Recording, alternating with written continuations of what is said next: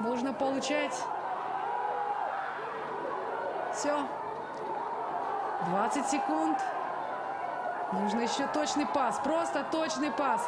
Просто и гол! Вот это, да, вот это накал. Вот это накал. Смотрим повтор, смотрите.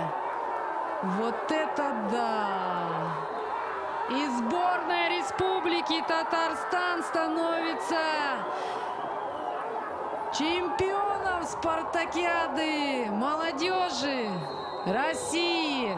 Есть слезы, есть разочарование, слезы радости и слезы поражения. Да, конечно. Я вам говорила, что нас ждет очень интересная игра.